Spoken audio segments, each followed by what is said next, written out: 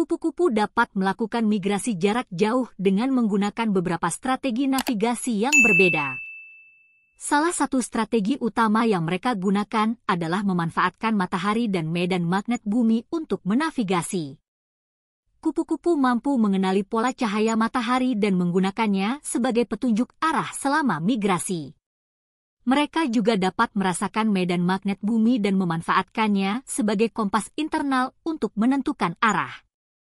Kemampuan ini membuat mereka bisa melacak arah yang benar dan menghindari terjebak dalam kondisi cuaca buruk. Selain itu, kupu-kupu juga menggunakan kemampuan visual mereka untuk mengingat benda-benda tertentu di sekitar lokasi awal dan tujuan migrasi mereka. Ingatannya ini mereka gunakan sebagai referensi untuk menentukan arah selama migrasi.